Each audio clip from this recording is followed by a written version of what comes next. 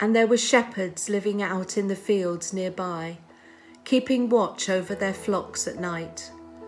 An angel of the Lord appeared to them, and the glory of the Lord shone around them, and they were terrified.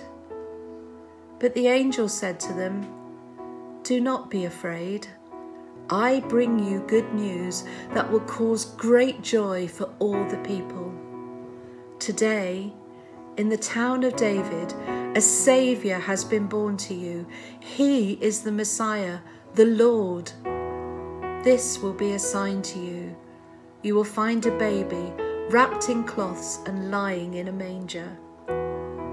Suddenly, a great company of heavenly hosts appeared with the angel, praising God and saying, Glory to God in the highest heaven, and on earth, peace to those on whom his favour rests.